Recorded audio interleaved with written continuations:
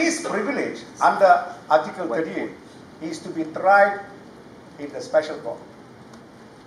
Now, if ICC is to try him because the AG refused to prosecute him, that privilege is affected.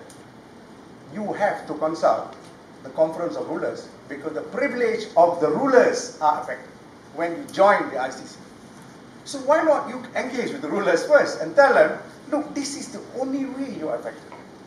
But you are only affected if you are rogue. No sultan will tell you, I'm objecting to it. Because if you say only if you are rogue, that privilege is taken away if the AG refuses to prosecute. These are a few instances that I, am telling you that uh, ICC can buy.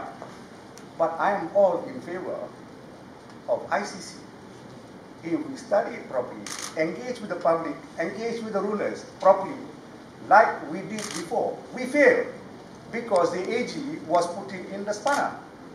What's the difference between the former AG and the four professors? They are all putting spanners. But it's your job to go and engage with these people and explain to them. Now, uh, I told you about Philip Kirsch. When we met him, I was inspired. The AG refused to meet him.